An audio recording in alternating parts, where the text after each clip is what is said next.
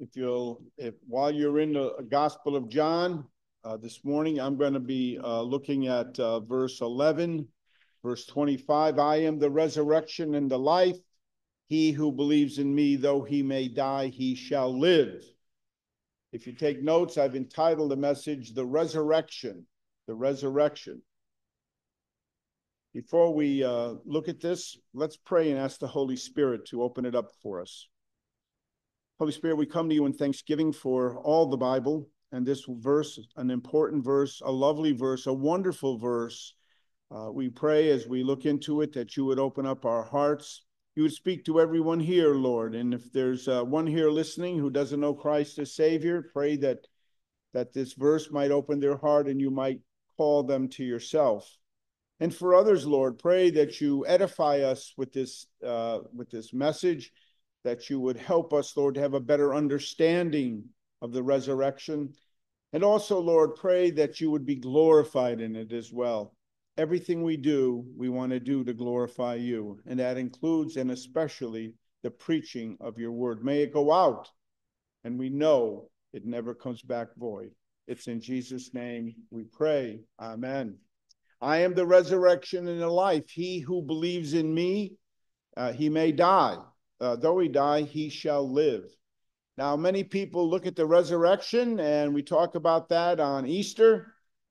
But uh, actually, the resurrection, the resurrection isn't just an Easter topic.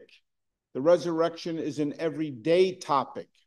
But before I get into that, let's just take a, a, a look at our verse and the, and the backdrop of it.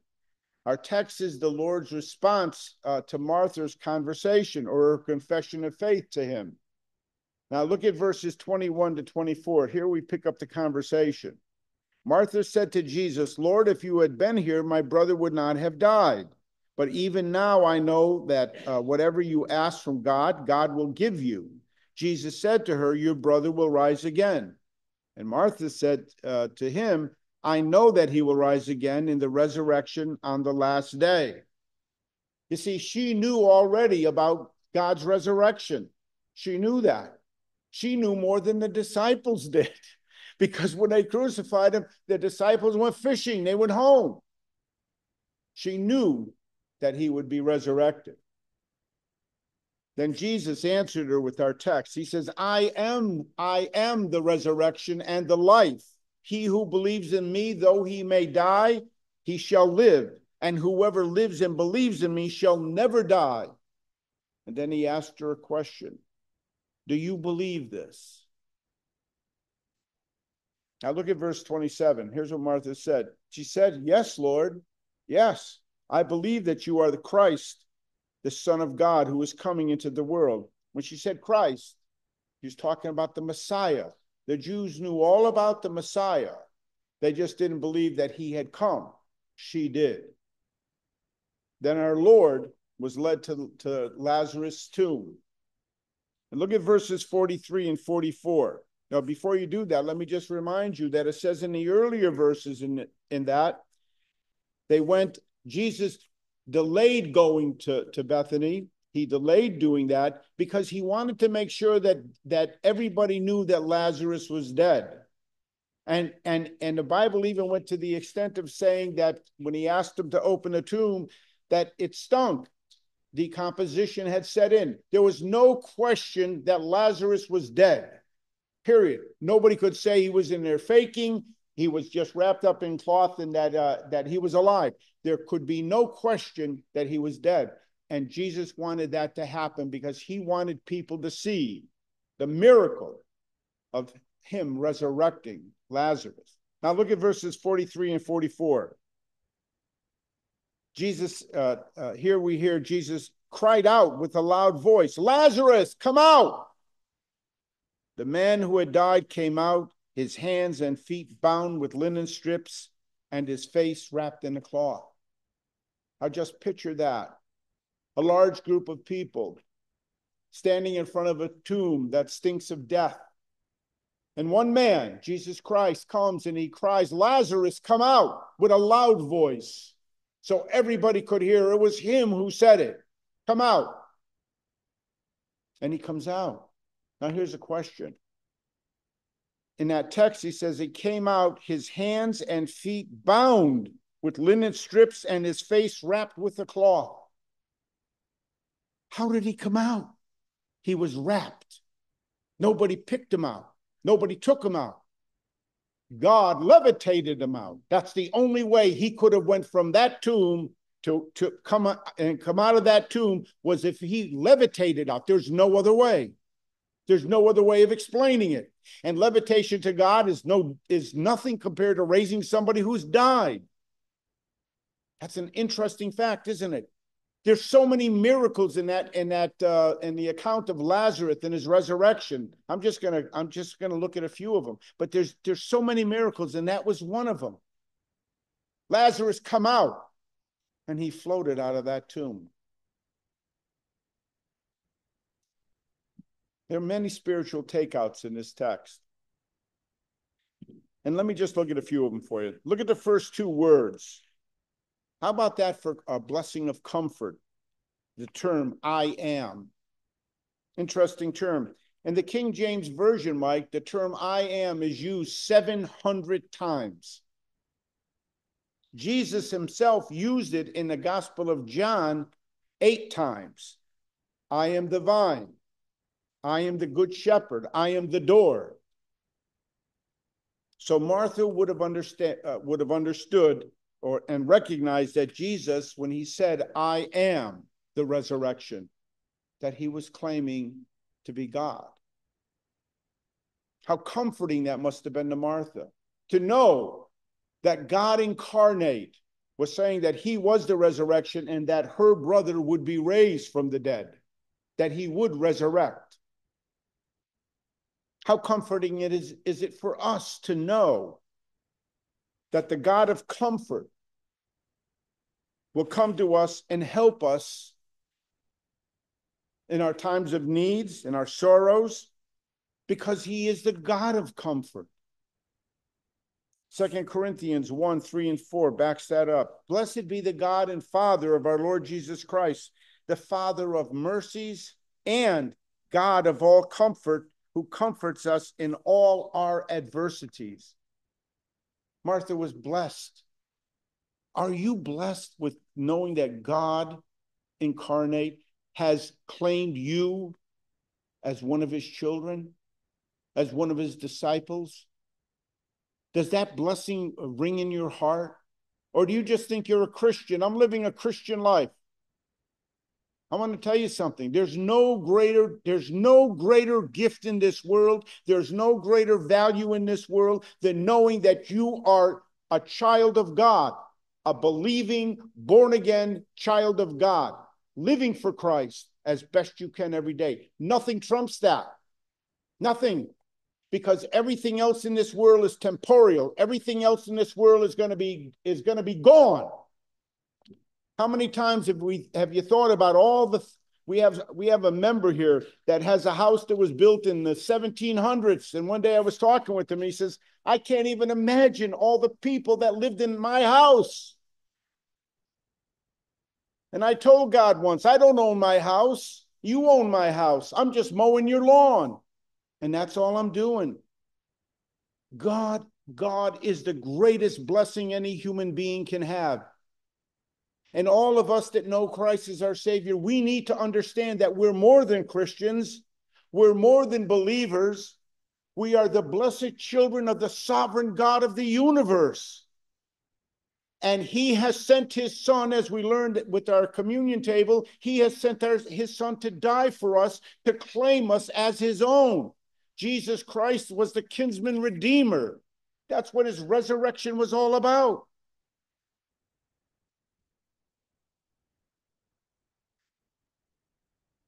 You see, Martha knew, Martha knew, and I pray each and every one of you know that Jesus will comfort, deliver, and resurrect all of his people, not just Lazarus. Actually, Lazarus got a bonus. He got resurrected twice. He got resurrected and back to this life. And on the judgment day, he'll be resurrected again and the authority, and this is very important, the authority to do that is displayed in the very next section of our text. Look at it. When he said, I am the resurrection and the life, when he said that, he was showing the authority that he had to do that. That means Jesus just wasn't the messenger of the resurrection. He is the embodiment, he is the power source of the resurrection. Don't believe me? Let me give you a proof verse. Matthew 28 18. All authority in heaven and on earth has been given to me. And Paul backs that up in Romans chapter 1, verse 4. Speaking of Jesus, he wrote, He was declared to be the Son of God in power according to the Spirit of holiness by his resurrection from the dead. Nobody resurrected from the dead before Christ. People that were truly dead. And let me define dead. Dead is absolutely defined as cessation of living tissue, period. And how do we know it, a person is dead? Because they stink. Death is decomposing the mortal body. I am the term, I am the resurrection and the life. He said that as an assurance to let Martha know and to let every believer that read that reads that know that that faith in Christ always leads to life, not death. It, it always leads to life, especially life after death. For those who trust in Jesus, death is not the end of the story. Listen, I'm going to tell you why. Because when God created Adam and Eve, he created them to be immortal. They would never die. That's true. So when sin came on the scene, that changed. What changed was they sinned against God, so God put a curse on them. He said, "Okay, I'm putting time in motion." Time began when God when God uh, uh, judged Adam and Eve in the uh, in the garden. When He did that, time began. And in that judgment, Adam had, I think it was 976 years, hundreds of years to live, and then he would his body would perish. Didn't mean that he wasn't immortal anymore. He didn't take that away. What he took away was his flesh, because it was his flesh that caused him to sin. So the immortality of God's creation, human beings, has never changed. The only thing that changed from the garden in Genesis 1 and 2 was that sin was allowed in by God. He allowed it in that Jesus Christ might be known, that he would call out a people from the world. And in doing that, and in doing that one event, he knew that it would be a resurrection. And the first one that would resurrect was Jesus Christ.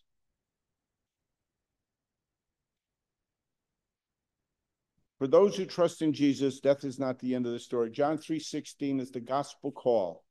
For God so loved the world, he gave his only begotten Son, that whosoever believeth in him shall not perish, but have everlasting life. To be clear, that verse does not say if you believed in Jesus Christ, your body functions would never stop. It didn't say that.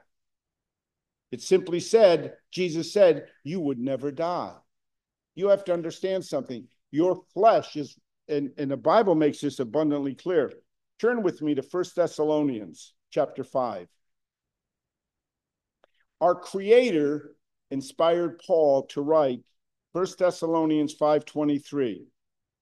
First Thessalonians 5.23. That tells us that we are composed of three elements, individual elements.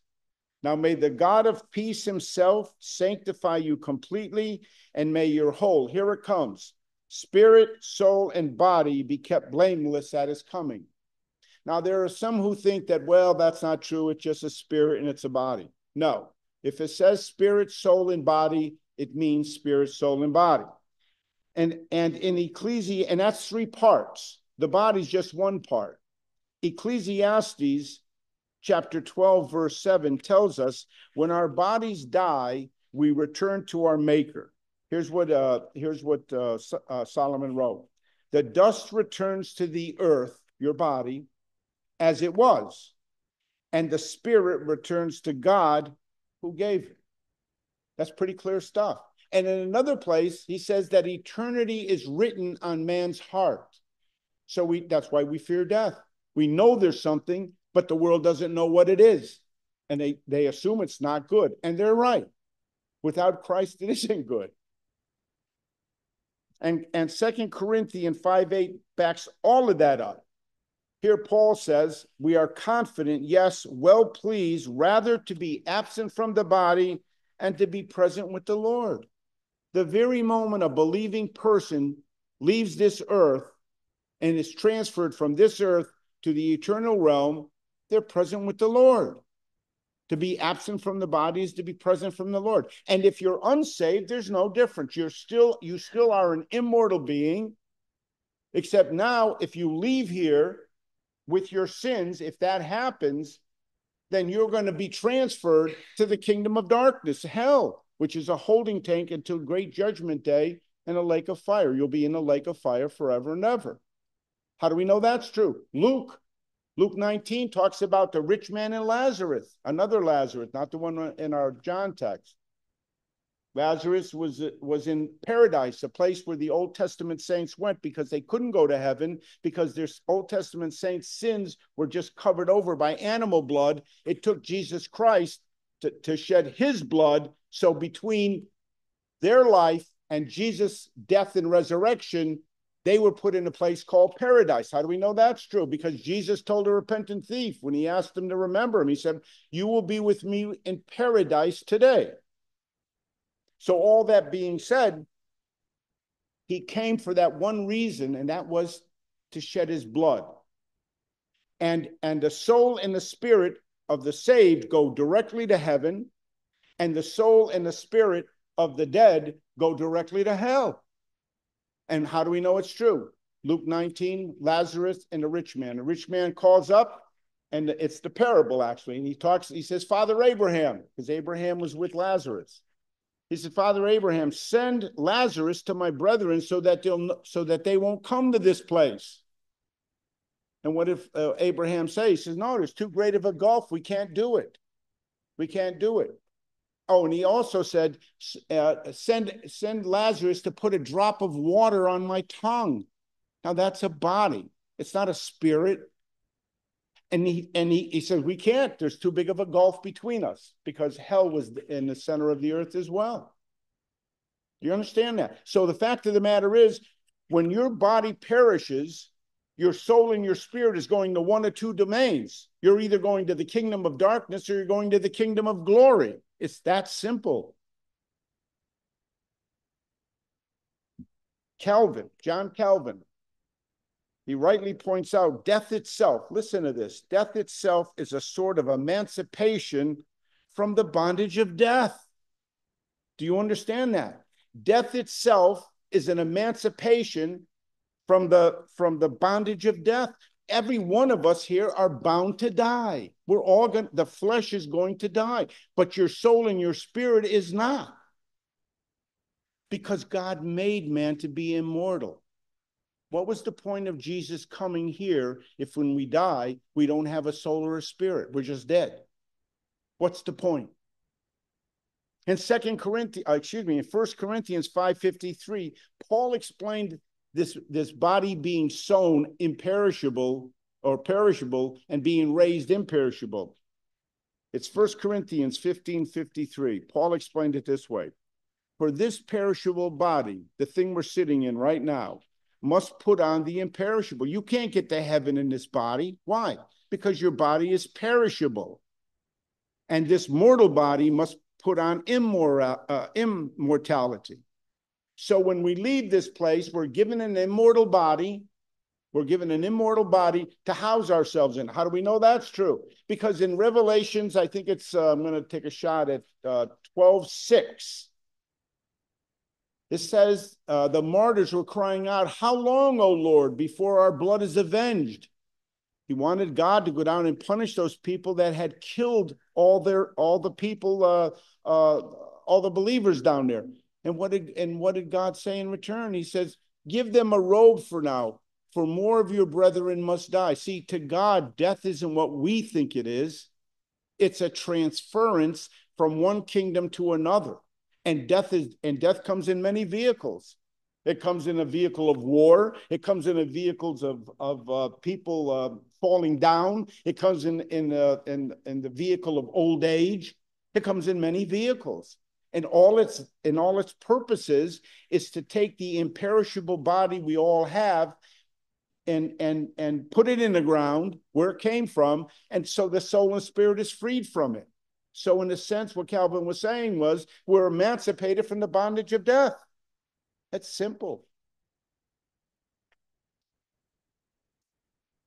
And and and so when christ raised lazarus from the dead that demonstrated that he had the power to change death to life both physically and spiritually.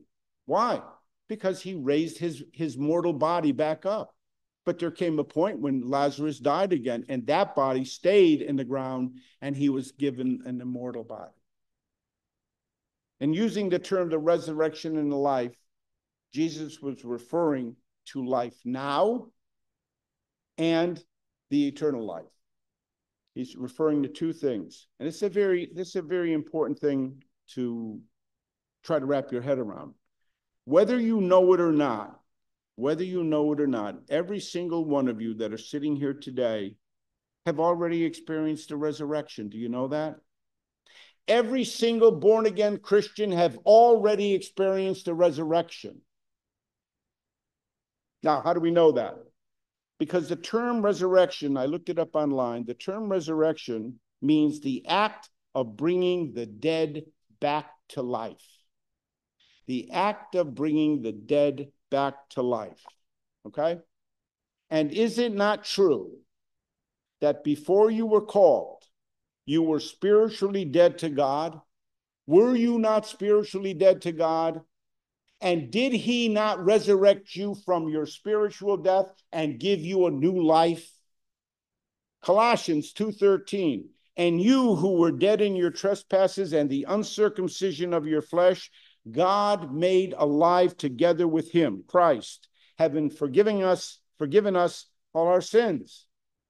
Do you understand that? So it's fair to say being made alive in Christ you've been resurrected to a new life.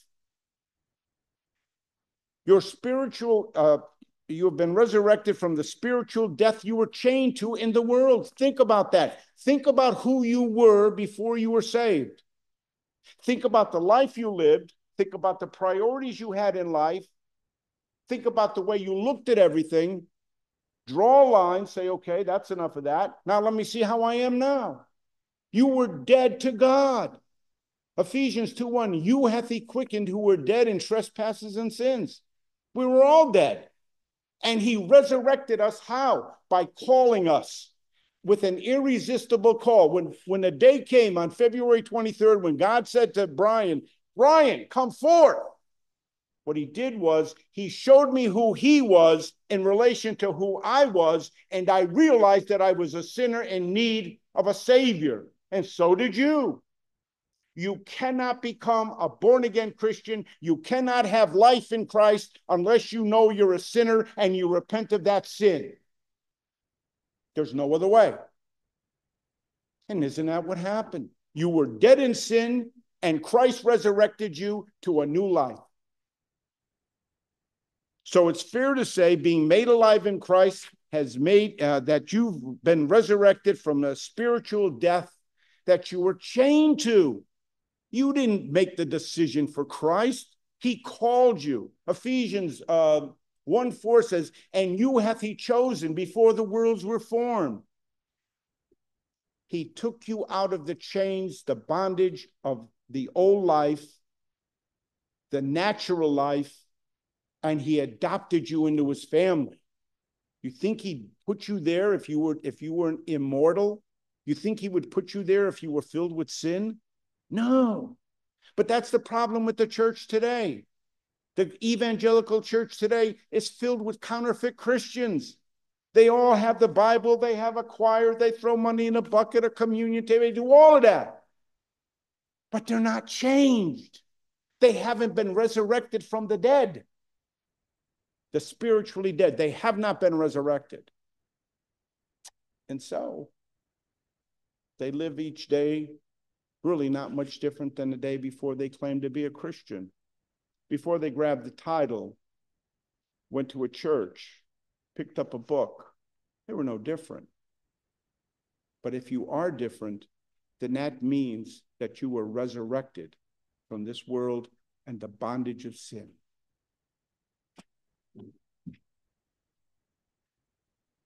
We've been resurrected and transferred. I'll give you the verse for that, Ron. It's uh, Colossians 1 13 and 14.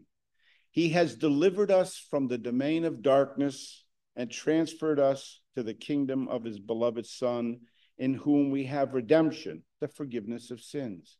You see, being transferred spiritually from the kingdom of darkness and being transferred into the spiritual realm of Christ is no different than being transferred by the vehicle of death, where our perishable body, our sinful. By the way, the, the reason a body has to go into the ground is because God did not regenerate your flesh. Your flesh is unregenerated. That's the battle you fight every day of your life as a Christian. You fight against yourself. You are always in a constant state of civil war. Your flesh wants you uh, wants its desires and it wants you to feed it your spiritual side, the Holy Spirit inside of you fights against that and doesn't want you to do that, doesn't want you to appease the flesh.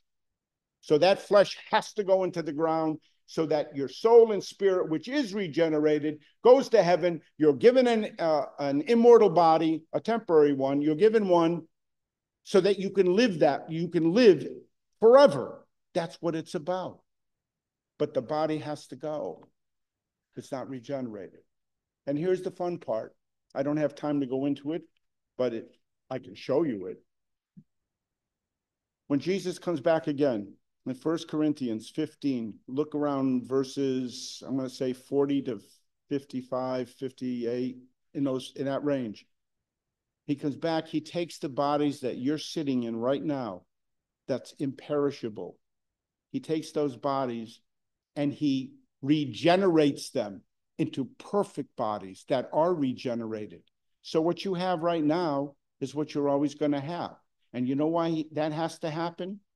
Because if he didn't, the devil would have defeated God. The devil said, Oh, yeah, you got their soul and the spirit, but I got their flesh.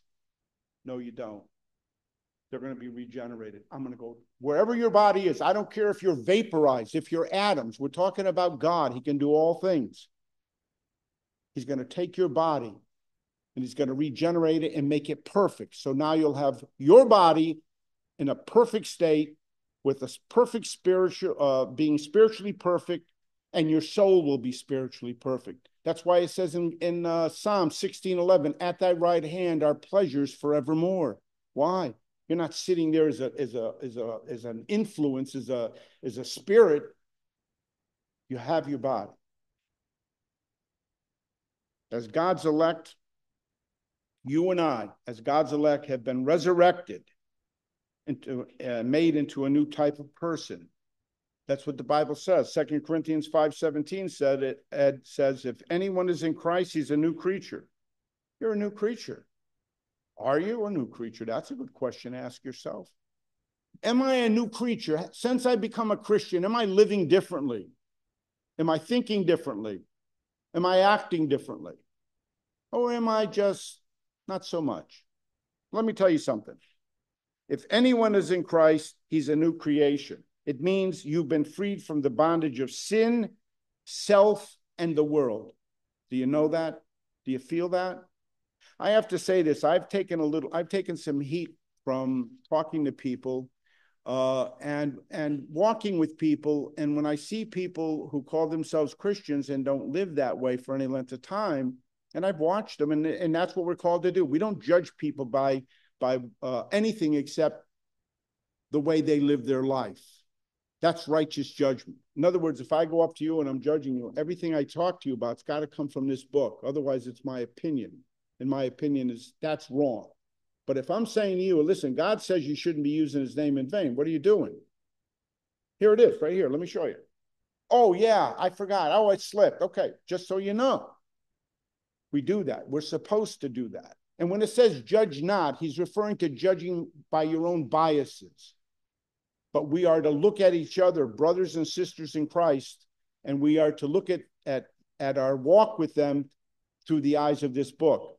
Galatians 6 1 says, If a brother be uh, if a brother be overtaken in a fault, you that are spiritual, restore such a one in the spirit of meekness, considering yourself, lest you also be tempted. You can't do that if you're not helping your brother or sister by by walking with them and seeing them if they have any problems and helping them with it. That's the whole point of having a church, a fellowship. We grow together. We grow and we and we sharpen iron by and iron by talking about spiritual things.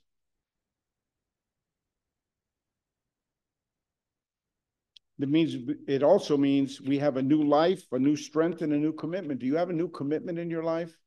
When you got saved, did you make a new commitment to Christ? Did you keep that commitment as best you could? When I say keep things, nobody's perfect, and I want to make that clear. This standard is so high, no human being except Jesus Christ could meet it because he was sinless. Our job is not to is not to be perfect. Our job is to be sanctified by God and and reach towards that as best we can. And that's the key words. And each and every one of us knows knows what as best we can means, because it means something different to all of us. You're freed from that. You have a new purpose. You have a new plan. You have a new position. This is all new. Now you have a new in, eternal inheritance. You're not going to the lake of fire. You're never going to be judged for sin. Romans 8 1 says, There is therefore now no condemnation to those who are in Christ Jesus. You can't be condemned. God will never condemn you. And if anybody else condemns you, it doesn't matter. It only matters what God thinks. That's the blessing of your resurrection from the world and from yourself and sin. Now, look at the last section. Uh, it's just really a wonderful taste of the resurrection we're going to have when we leave this world. In the last section of our text, we see Christ's power in uh, resurrecting his people to eternal life. He says, He who believes in me, though he may die, he shall live. That's a promise by God. Then that should bring great comfort to every single believer, especially when death looks us in the face. That should be a that should be a you know it, it's I I think it's fair to say this. I think it's fair to say we shouldn't fear death, but we could be a little concerned about how it happens. I'd say that. I'd say that's a fair statement. Our comfort is is knowing is in knowing rather that God's promise he who believes in me, though he may die, shall live, belongs to every one of us. There's not one of you sitting here that knows Christ that is ever going to die. Your body's going to leave here. You're going to leave here. You have to leave here to go home. What does the Bible call us? Sojourners, pilgrims, just traveling through? That's all we are. And as a child of God, there's no reason for us to fear death or anything else. And I would remind you, I would remind you that even death is covered in Romans 8 28 all things work together for good to them who love God and are called according to his purpose. The word all things in the original Greek language means without exception, and that includes death. Death works out for your good if you're a believer. Now, if you're listening to this and you're and and you're living without the biblical Christ in your life, you might call yourself a Christian, but you're not living like a Christian you don't feel the big difference in your life from when you got saved to where you were before. If that's you, you have a lot to be concerned about. No, you have a lot to be worried about. I mean, worried, very worried. Why? Because God makes it clear that every single soul outside of Christ, they're sinners. Romans 3:23. For all have sinned and fall short of the glory of God. And in another place it says, There is none righteous, no, not one. Not one human being will ever be righteous or ever was righteous except Christ. And in Romans 6:23 is the threat. He declares the penalty of sin for sin is death. You see, when you sin against an eternal being, God, then you have to die, and that that payment has to be eternal. That's the currency of being in the eternal realm. Everything is done eternally. Which means without Christ, your sins have not been forgiven. So, oh, I'll get to that in a minute. So you will not be spiritually resurrected from this world. You won't be. If you do not come to Jesus Christ and you call yourself a sinner and say, Lord, I am a sinner. I've, I've lied, I've stolen, I've cheated, I've sworn, I've used your name in vain. You picked a sin. And it only takes one, by the way. It only takes one. Because the Bible says if you break one of his commandments, you broke them all. It only takes one. If you if you say that that um, that you have committed sin against him and you know it, and there's nobody that can say that they haven't. And if they did, they're a liar. They just made it, they just sinned then at that moment. Then all you have to do is admit that to God and ask him to forgive you. How hard is that? Don't we do that to our neighbors and everybody else?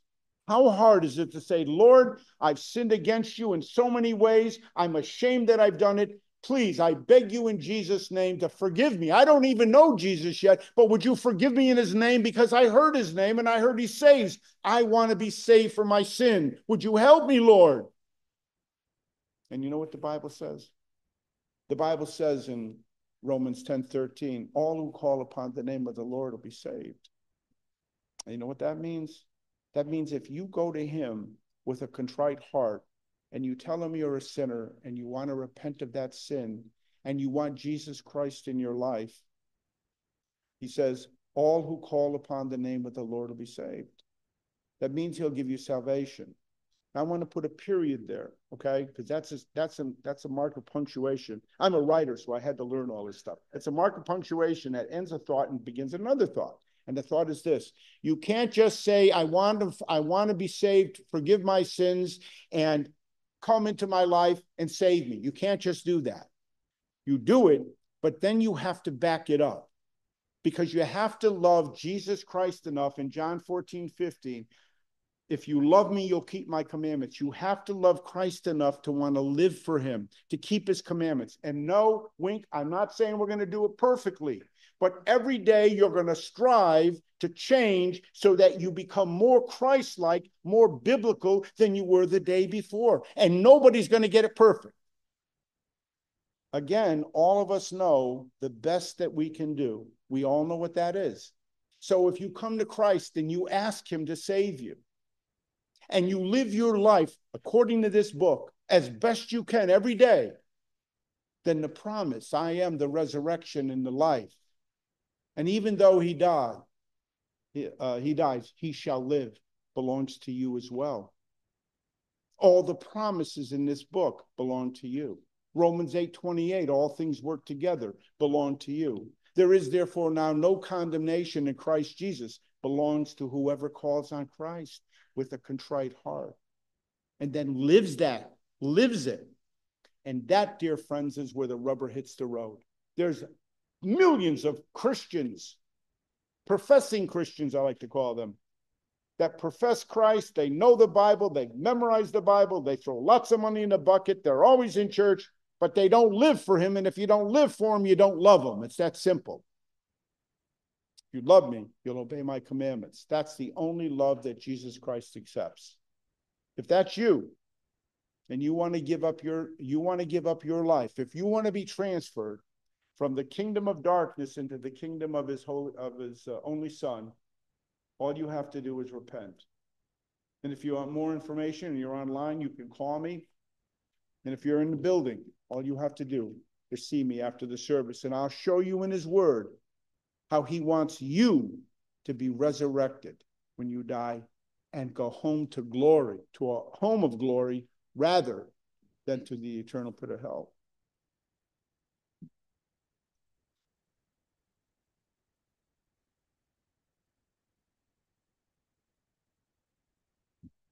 The good news is that if you repent, that's that'll be the case. Now, in the midst of death, sorrow, and weeping, Jesus told Martha, I am the way, I am the resurrection and the life. He who believes in me, though he may die, he shall live. Do you believe this? He said to Martha. Then, then confess like Martha. If that's you listening, then confess like Martha. Yes, Lord, I believe that you are the Christ and the Son of God. And if that's you, you say that and you believe that, then go out next week and live your faith every day so that the world can see that you've been resurrected in Christ.